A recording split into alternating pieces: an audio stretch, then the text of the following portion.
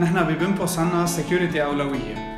كرمال هيك كان صار لنا فترة عم نشتغل على projet بحدود السنتين وهلا نحن أطلقنا هذا ال projet هذا ال projet هو ال Smart Cash Drawer وحدة من أهم المشاكل يلي كانت عم تواجهها الزباين عنا وأصحاب المصالح كانت نقص بالصندوق. مين منا ما عنده هالمشكلة أكيد ومين منا ما بينقص صندوقه أو بيزيد الصندوق.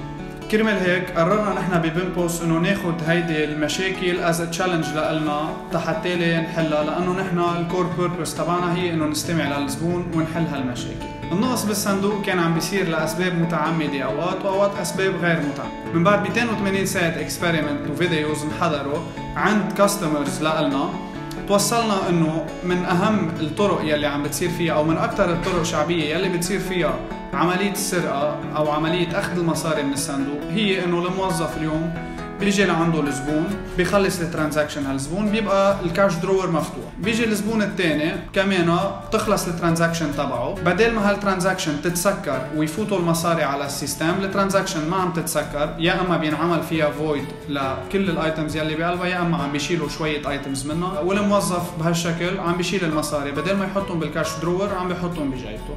من بعد هال experiments يلي قطعنا فيهم والتستات يلي عملهم ال team ب BIM POS توصلنا انه on average عم تاخذ الموظف تقريبا من 12 ل 15 ثانية من بعد ما يفل الزبون لحتى يرجع ياخذ هالمصريات ويحطهم معه كرمال هيك one of the main features تبع ال smart cash drawer هي ال beeping اللي بيصير هو انه by default من بعد ما تتسكر ال transaction اذا بقي ال drawer مفتوح ل 12 ثانية وطلوع أكيد على 12 ثانية ببلش هال cash drawer يزمر كرمال حتى ينتبه الموظف انه ال drawer مفتوح لازم يتسكر بنفس الوقت طالما ال drawer مفتوح بعد ال 12 ثانية الموظف ما بيقدر يقوم بولا اي transaction لأنه ال system رح يعمل blocage ومن خلال خبرتنا ب BIM POS وتعاملنا مع عدد كبير من الزباين صرنا بنعرف إنه الموظفين عندهم access بكذا طريقة على إنه يفتحوا الصندوق.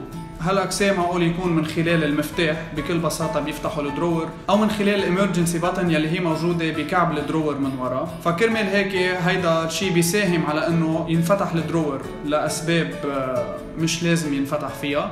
وعم يتاخد مصاري من الصندوق. كرمال هيك ال team ب BIM POS اخترع microchip تنحط على ال hardware أكيد هي connected على ال software هال microchip بتخلينا نشوف نحن ال drawer انفتح بأي طريقة إن كان بال key أو بال من ال soft من خلال ال software open drawer أو على no sale transaction كمان حتى ال emergency button بتكون recorded كل عملية فتح لل system من خلالها. بآخر النهار رح يطلع لنا rapport لصاحب المصلحة أو لل manager.